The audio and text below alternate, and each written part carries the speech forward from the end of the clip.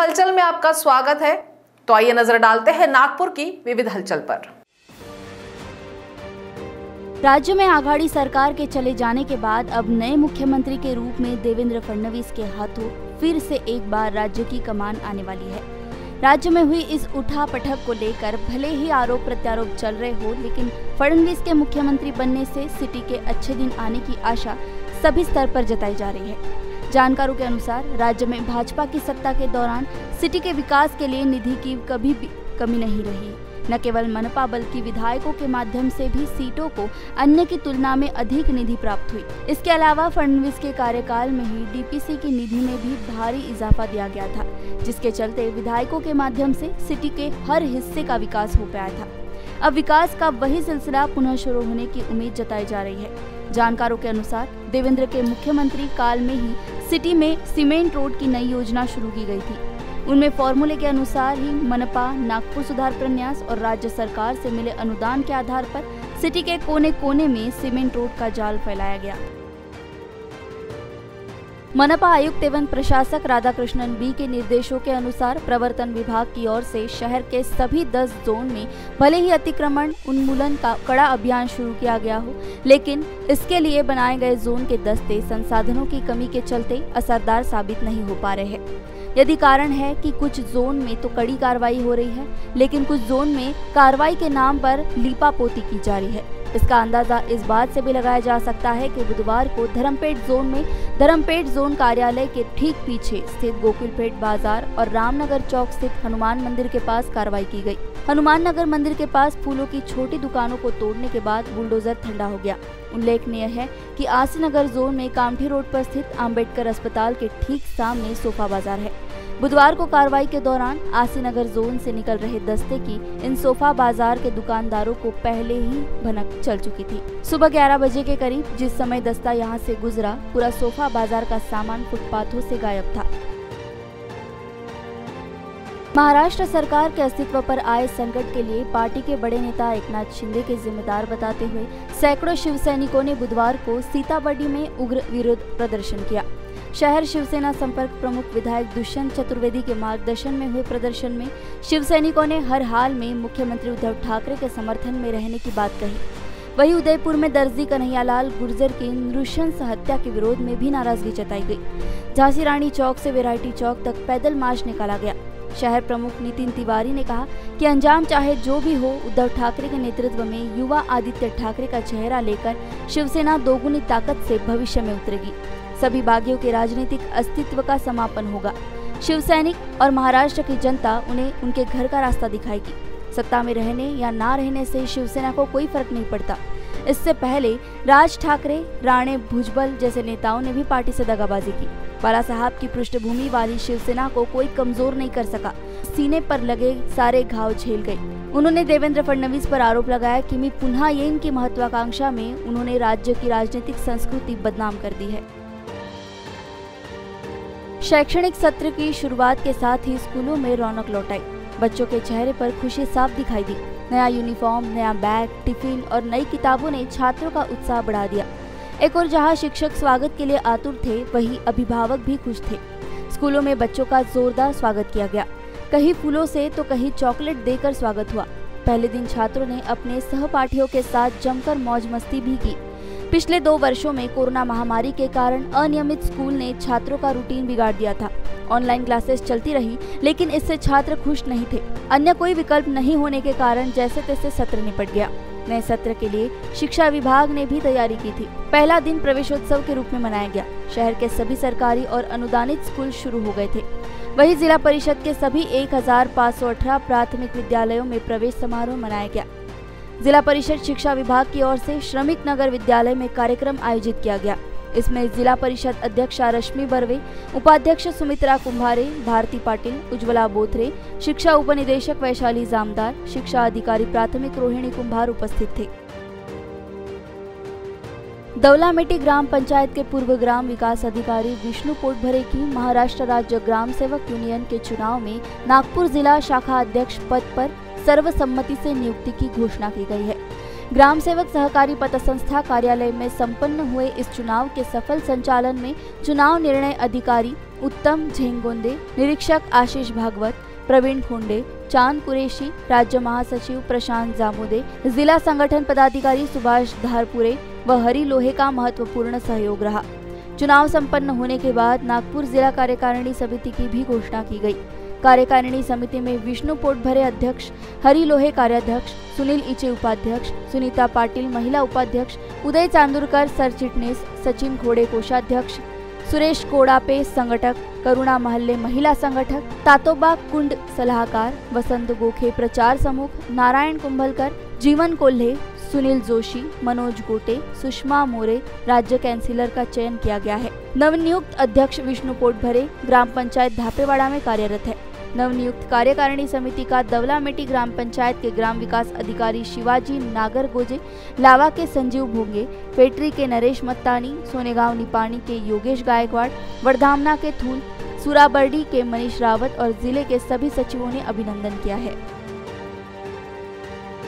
राज्य के समान विकास के उद्देश्य से विदर्भ, मराठवाड़ा और महाराष्ट्र के बचे अन्य क्षेत्रों के लिए प्रादेशिक विकास मंडलों की स्थापना की गई थी। गत कुछ वर्षों से प्रादेशिक विकास मंडलों के पुनर्गठन का मसला अटका हुआ था।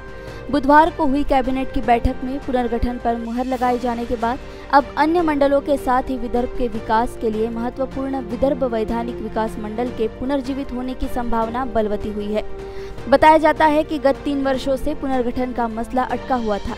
बताया जाता है कि मंडल की समय अवधि 30 अप्रैल 2020 को ही खत्म हो चुकी थी। समय खत्म होने से इसका कार्यकाल बढ़ाया जाना चाहिए था, किंतु 27 अप्रैल 2020 को हुई कैबिनेट की बैठक से इसे मंजूरी नहीं मिल सकी, जिसे लेकर महाविकास आघाड़ी की सरकार को कटघरे में भी खड़ा किया जाता रहा है। राज्य में चल रही राजनीतिक उठापटक के बीच मंत्रिमंडल द्वारा लिए गए फैसले से अब विदर्भ के विकास को गति मिलने की आशा जताई जा रही है। उल्लेखनीय है कि 27 अप्रैल 2020 को हुई कैबिनेट की बैठक में पालक मंत्री नितिन राउत ने विदर्भ वैधानिक विकास मंडल का कार्यकाल बढ़ाने की पुरजोर मांग की थी। बहुप्रतीक्षित रेल यात्री सुविधा यानी जनरल टिकट अब हर ट्रेन के लिए मिल सकेगी। 28 जून की रात 12 बजे से ये सुविधा यात्रियों के लिए उपलब्ध कराई गई। इससे विशेष तौर पर हर दिन एक छोटा सफ़र करने वाले आम यात्रियों को बड़ी राहत मिलेगी। उल्लेखनीय है कि मार्च 2020 में देशव्यापी लॉकडाउन के बाद दोबारा शुरू हुई यात्री रेल सेवा में जनरल टिकट को भी आरक्षित श्रेणी में डाल दिया गया था। इससे आम यात्रियों को जनरल क्लास में सफ़र करने के लिए रिजर्वेशन करना पड़ा था। हालाँकि रेलवे ने 1 मई 2022 से दोबारा जनरल टिकट बिक्री शुरू करने की घोषणा की थी, लेकिन 120 दिनों वाली आरक्षण नियमावली के चलते तत्काल प्रभाव से ये सुविधा यात्रियों को नहीं दी जा सकी। ट्रेनों में एडवांस रिजर्वेशन पीरियड 120 दिनों का होता है। ऐसे में ट्रेन रद्द हुए बिना किसी भी यात्री का आरक्षित टिकट रद्द नहीं किया जा सकता। चूँकि यात्री एक मई से पहले ही जनरल क्लास यानी सेकंड सीटर में सीटें बुक करवा चुके थे, ऐसे में निर्धारित ट्रेनों में सभी आरक्षित सेकंड सीटर कोटा समाप्त हुए बिना जनरल टिकट बिक्री शुरू नहीं की जा सकती थी। लेकिन अब ट्रेनों में आरक्षित सीटें क्रमवार समाप्त होने के बाद उन गाड़ियों के लिए टिकटें उपलब्ध होने लगी। केंद्रीय वन, पर्यावरण और जलवायु परिवर्तन मंत्रालय द्वारा जारी अधिसूचना के अनुसार 1 जुलाई से नागपुर में सिंगल यूज़ प्लास्टिक पर प्रतिबंध लगा दिया जाएगा। प्रतिबंधित प्लास्टिक को लेकर बुधवार को शहर के व्यापारियों ने नागपुर महानगर पालिका के अपर आयुक्त राम जोशी से मुलाकात की और इस संबंध में शंकाओं को लेकर उसका समाधान पूछा। व्यापारियों से चर्चा के दौरान मनपा आयुक्त के बैठक कक्ष में मुख्य अभियंता प्रदीप खवले, उपायुक्त तथा घन कचरा व्यवस्थापन संचालक डॉक्टर गजेंद्र महल्ले, उपद्रव खोजी दल प्रमुख वीरसेन तांबे, महाराष्ट्र प्रदूषण नियंत्रण मंडल नागपुर के उप प्रादेशिक अधिकारी उमाशंकर भादुले, क्षेत्र अधिकारी किशोर पुसतकर तथा कपड़ा मार्केट एसोसिएशन, होटल एसोसिएशन के पदाधिकारी व अन्य व्यापारीगण मौजूद थे। चर्चा के दौरान अतिरिक्त आयुक्त राम जोशी ने बताया कि केंद्रीय पर्यावरण, वन व जलवायु परिवर्तन मंत्रालय ने 12 अगस्त 2021 को जो अधिसूचना जारी की है, उसमें सिंगल यूज़ प्लास्टिक साहित्य की निर्मित, आयात, संग्रहण, वितरण, बिक्री और इस्तेमाल पर 1 जुलाई 2022 से पूर्ण प्रतिबंध लगाया गया है। उसके अनुसार 1 जुलाई से संपूर्ण शहर में मनपा के उपद्रव खोजी दल द्वारा कार्रवाई की जाएगी। पर्यावरणीय दृष्टि से इस महत्वपूर्ण निर्णय को लागू करने के लिए शहर के व्यापारी सहयोग करें, ऐसा आह्वान भी अतिरिक्त आयुक्त राम जोशी ने व्यापारी से किया है। रामनगर में नागपुर महानगर पालिका एवं आकांक्षा फाउंडेशन द्वारा संचालित अंग्रेज़ी प्राथमिक शाला को स्कूल खुलने के पहले दिन मनपा आयुक्त एवं प्रशासक राधाकृष्णन बी ने बुधवार सुबह भेंट दी और नन्हे छात्रों को गुलाब पुष्प, गणवेश व पाठ्य पुस्तक देकर स्वागत किया। इस अवसर पर मनपा के शिक्षणाधिकारी प्रीति मिश्री कोटकर सहायक आयुक्त प्रकाश वराडे, कार्यकारी अभियंता विजय गुरुबक्षाणी कमलेश चौहान, उद्यान अधीक्षक अमोल चोरपगार, शिक्षा विभाग समन्वयक विनय बगले, आकांक्षा फाउंडेशन के शालेय संचालक सोम सूर्य चैटर्जी तथा स्कूल के शिक्षक गण मौजूद थे। सबसे पहले नन्हे छात्रों के हाथों आयुक्त और उपस्थित गणमान्य व्यक्तियों ने पुष्पगुच्छ देकर स्वागत किया। इस अवसर पर आयुक्त व मनपा अधिकारियों ने स्कूल की अन्य सुविधाओं का भी जायजा लिया। इस दौरान आयुक्त ने उपस्थित अधिकारियों को स्कूल भवन, खेल मैदान व अन्य सामग्री को अपडेट रखने के निर्देश दिए। बच्चों के लिए अंग्रेज़ी के माध्यम से अच्छी और गुणवत्तापूर्ण शिक्षा के लिए अधिकांश नागरिकों की मांग को देखते हुए पिछले साल नागपुर महानगर पालिका के माध्यम से स्कूल का उद्घाटन किया गया था। ये उपक्रम मनपा द्वारा आकांक्षा फाउंडेशन के सहयोग से लागू किया जा रहा है। इससे मुफ़्त, गुणवत्तापूर्ण शिक्षा का सपना साकार हुआ है। नागपुर महानगर पालिका क्षेत्र के टीकाकरण केंद्रों पर प्रतिदिन टीकाकरण किया जा रहा है। इसलिए मनपा के सभी टीकाकरण केंद्रों पर आज केवल कोवैक्सीन का टीका उपलब्ध होगा। टीका दोपहर दो बजे तक दिया जाएगा। टीकाकरण के लिए पंजीकरण ऑनलाइन और ऑफलाइन दोनों पद्धतियों से किया जा सकता है। साथ ही निगम के स्वास्थ्य विभाग की ओर से टीकाकरण के लिए जाते समय एक पंजीकृत मोबाइल फ़ोन और पहचान पत्र साथ में रखने की अपील की गई है। केंद्रीय मंत्री नितिन गडकरी के प्रयासों से मध्य प्रदेश सरकार ने नागद्वार तीर्थ यात्रियों के लिए नागद्वार यात्रा की अवधि बढ़ा दी है।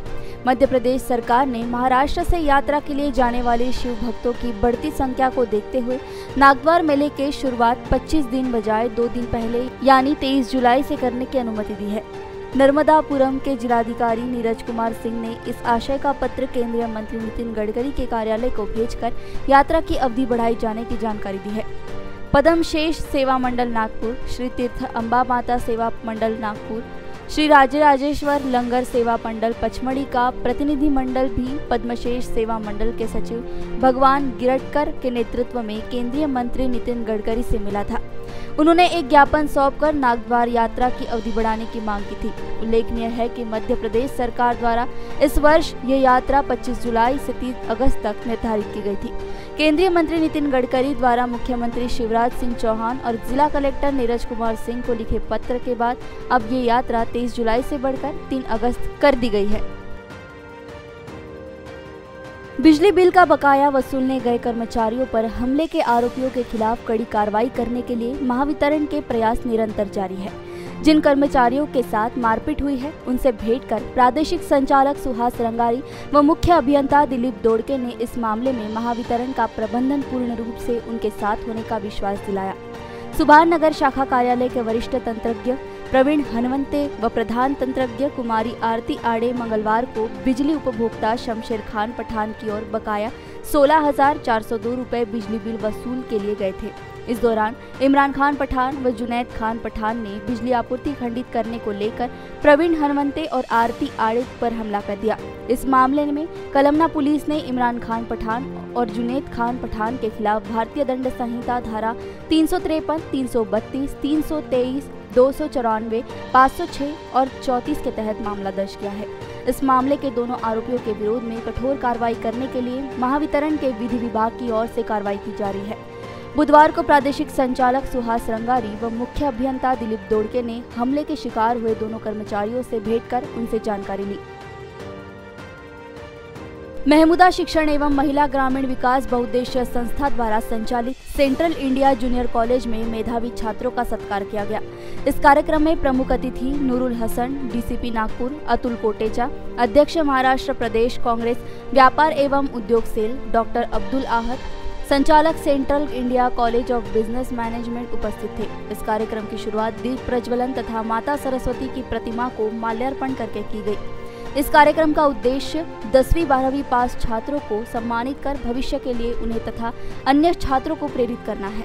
माध्यमिक तथा उच्च माध्यमिक विद्यालय के मुख्याध्यापक का शॉल तथा तुलसी का गमला देकर सत्कार किया गया। मेधावी छात्रों का सत्कार, मान्यवरों के हाथों ट्रॉफी तथा प्रमाण पत्र देकर किया गया। Central India group of institution के मेधावी छात्रों को भी सम्मानित किया गया। नूरुल हसन अपने मेहनत और कामयाबी के अनुभव छात्रों के साथ साझा किए। कठिन परिस्थितियों का सामना कर किस प्रकार सफलता प्राप्त की जाती है, इसके बारे में चर्चा करते हुए मेधावी छात्रों को सफलता के लिए बधाई दी। अतुल कोटेचा ने छात्रों को बधाई देते हुए उन्हें समर्पण एवं अनुशासन की राह पर चलने की सलाह दी और उनके उज्जवल भविष्य के लिए शुभकामनाएँ दी।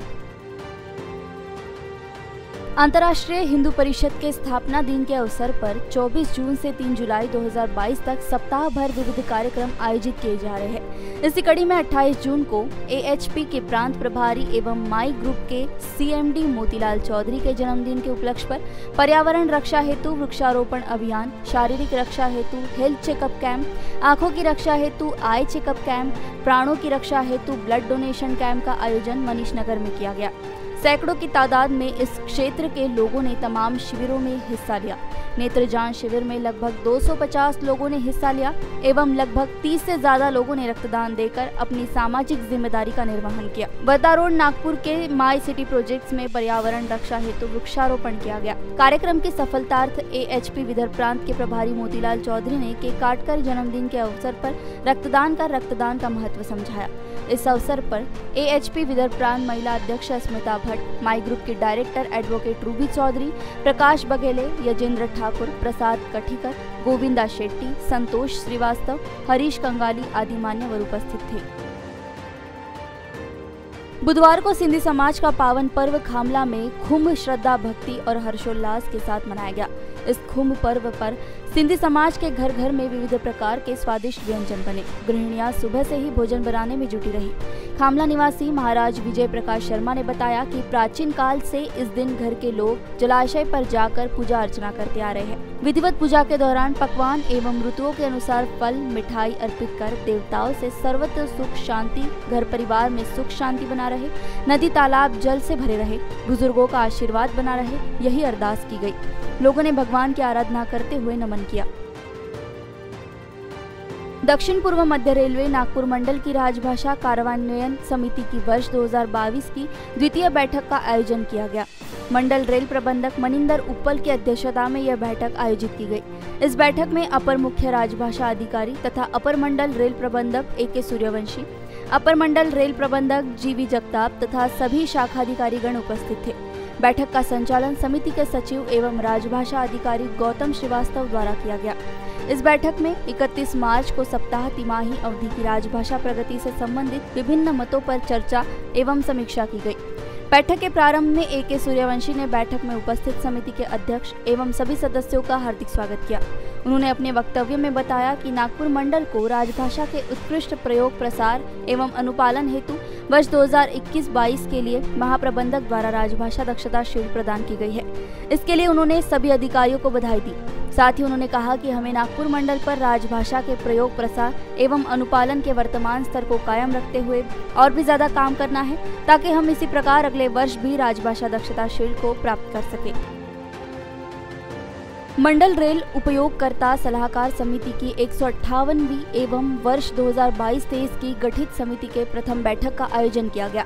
इस बैठक में doctor Kush Jhunjhunwala Ramavatar Totla, Piyush Tiwari, Sitaram Mahate, Pradeep Bajaj Brijbhushan Shukla, Leeladhar Madavi, doctor Kapil D Chandrayan, Suresh Bharade, Satyendra Singh Thakur, Milind Deshpande, Deepak Saluja आदि सदस्यों ने भाग लिया। वरिष्ठ मंडल वाणिज्य प्रबंधक कृष्णाथ पाटिल ने मंडल रेल उपयोगकर्ता सलाहकार समिति की बैठक में उपस्थित सभी सदस्यों का स्वागत किया। मंडल रेल प्रबंधक रुचा खरे ने अपने संबोधन भाषण में कहा कि मंडल रेल उपयोगकर्ता सलाहकार समिति के सदस्यों द्वारा दिए गए बहुमूल्य सुझाव महत्वपूर्ण साबित हुए हैं और रेल उपयोगकर्ताओं के लिए अधिक सुविधा प्रदान करने हेतु सहायता मिली है। नागपुर मंडल की उपलब्धियों के बारे में विस्तार पूर्वक जानकारी दी। रुचा खरे ने कहा कि मध्य रेल का नागपुर मंडल यातायात की दृष्टि से भारतीय रेल का एक महत्वपूर्ण मंडल है, जो पूर्व को पश्चिम तथा उत्तर को दक्षिण से जोड़ता है। नागपुर मंडल न केवल यातायात, बल्कि आय अर्जन में भी मध्य रेल में हमेशा अग्रसर रहा है। हाल ही में मध्य रेल नागपुर मंडल रेल उपभोक्ता सलाहकार समिति की बैठक संपन्न हुई। एक बैठक में समिति सदस्य बनने हेतु ब्रजभूषण शुक्ला के नाम को सर्वसम्मति से स्वीकार किया गया। मंडल रेल प्रबंधक रीचा खरे, अपर मंडल प्रबंधक जय सिंह वरिष्ठ मंडल वाणिज्य प्रबंधक कृष्णकांत पाटिल, मंडल वाणिज्य प्रबंधक विजय थुल सहित मंडल के सभी वरिष्ठ अधिकारी एवं समिति के सदस्य डॉक्टर कुश Jhunjhunwala, Ram Avatar Totla, Piyush Tiwari, S R Mahate, Pradeep Bajaj, Leeladhar Madavi, doctor Kapil Chandrayan, Suresh Bharade, advocate Satyendra Thakur, Milind Deshpande Deepak Saluja आदि ने पुष्पगुच्छ देकर एवं मिठाई खिलाकर शुक्ला को शुभकामनाएँ दी। जीएसटी व कोयले के बढ़ते मूल्यों के कारण अखिल भारतीय ईट व टाइल्स निर्माता महासंघ के आह्वान पर ईट भट्टा संचालकों ने ईट भट्टा व्यवसाय चलाने में असमर्थता जताई है और आगामी वर्ष 2022-23 में पूर्ण अनिश्चितकालीन हड़ताल का समर्थन किया है। Maharashtra state bricks manufacturers association के अध्यक्ष गोपाल मिहाड़िया सचिव Sanjay Paliwal, Nagpur district bricks manufacturers association के अध्यक्ष गजेंद्र चौक से सचिव सुशील शर्मा, अकोला ब्रिक्स निर्माता संघ के अध्यक्ष कपाड़े ने भी आगामी वर्ष में ईट भट्टे बंद रखने का आह्वान किया है। देश के कई राज्यों में सरकार की अव्यवहारिक पर्यावरणीय नीतियों के कारण उत्पादन बाधित होता है। सरकारी राजस्व जमा करने में सीटीओ सीटीई इसी सरकारी शुल्क एवं संपूर्ण कागजात विभाग में जमा करने के बाद भी ईट भट्टा के नियमित संचालन में बाधा उत्पन्न होती है। पर्यावरणीय स्पष्ट नीति बनाकर इसका समाधान किया जाना चाहिए। उत्तर प्रदेश, बिहार और बंगाल जैसे कुछ राज्यों में ईट भट्टे के संचालन के लिए मिट्टी के खनन में स्वच्छता प्रमाण पत्र की आवश्यकता में छूट दी गई है। ईट की बिक्री पर जीएसटी की दर पिछले के मुकाबले एक प्रतिशत से बढ़ाकर छह प्रतिशत और पाँच प्रतिशत से बढ़ाकर बारह प्रतिशत कर दिया गया है। यातायात पुलिस ने मोटर वाहन अधिनियम के विभिन्न धाराओं के अंतर्गत कुल मिलाकर 3,328 वाहन चालकों पर कार्रवाई की और उनसे कुल मिलाकर दो लाख चौरासी हज़ार रूपए का जुर्माना वसूला। इसके अलावा जुआ अधिनियम के अंतर्गत दो मामलों में दो आरोपियों को गिरफ़्तार किया गया और उनसे पाँच हज़ार रूपए का सामान जब्त किया गया है। इसके अलावा मुंबई शराब बंदी अधिनियम के अंतर्गत छह मामलों में 11 आरोपियों को गिरफ़्तार किया गया और उनसे बारह हज़ार का सामान जब्त किया गया। उपरोक्त सभी ऑपरेशन संयुक्त रूप से नागपुर सिटी पुलिस द्वारा किए गए थे।